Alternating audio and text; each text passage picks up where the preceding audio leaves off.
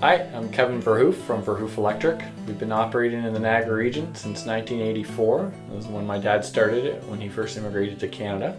And he began his work in the greenhouse sector and we've since expanded into the residential and commercial along with still doing greenhouse work.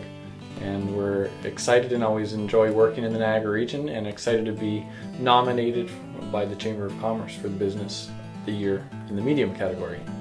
We have uh, 15 employees total, including my dad and myself. I took over from him two years ago. He still works in the business daily, and uh, I much appreciate the expertise and the wisdom that he can provide to me. And that's uh, been part of our success, I feel, is that uh, we have the continuity of uh, over 30 years' experience.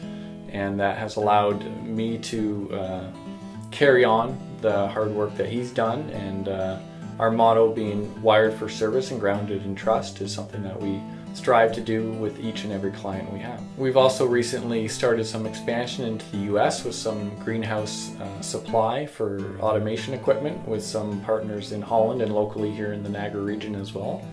And that's been an exciting endeavor for us as that market is obviously large and we supply them with uh, automation and control cabinets and as well we offer design and supervision services. I'd just like to take the opportunity to thank everyone who has been part of the nomination and the voting process. Uh, we really enjoyed the time to just get to share about our business and uh, the best of luck to all the other nominees. And again, thanks for the opportunity and hope you're enjoying the evening.